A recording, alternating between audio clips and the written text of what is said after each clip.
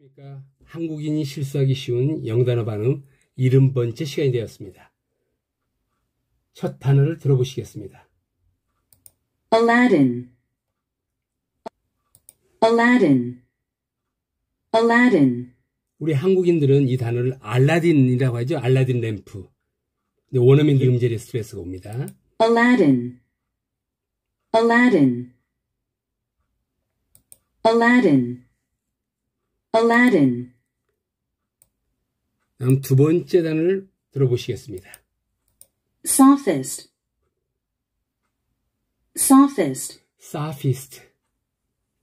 소하, 오하고 아 발음 가운데 발음을 해주고 있습니다. sophist, sophist, sophist.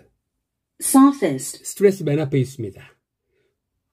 우리들은 이 그러죠? 소피스트 또는 궤변론자, 궤변가, sophist,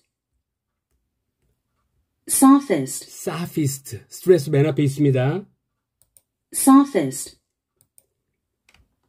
sophist, 그 다음 단어 들어보시겠습니다. Socrates, Socrates, 사크라티스 스트레스가 맨 앞에 오고 있습니다. Socrates, Socrates, 우리들은 이 단어를 소크라테스라고 그러죠? 고대 아테네의 철학자인 소크라테스. Socrates, Socrates, 그 다음 단어 들어보시겠습니다. Plato, Plato, Plato. 우리는 이 단어를 플라톤이라고 하죠. Socrates의 제자인 플라톤. 원어민들은 플레이도라고 합니다. Plato, Plato, Plato, Plato, 그 다음 단어를 들어보시겠습니다. vacuum, vacuum, vacuum. vacuum, vacuum, 이 사전의 발음표를 보면 vacuum 이렇게 되어 있습니다. vacuum. 근데 원어민 지금 나오는 소리는 vacuum.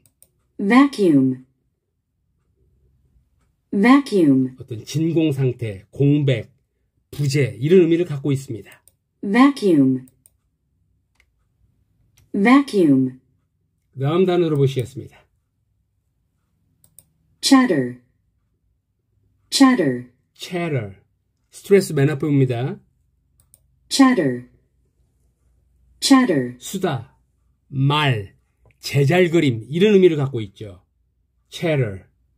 chatter, chatter, 채팅. chatter, chatter. 이것으로서 영단어 발음 마치겠습니다. 감사합니다.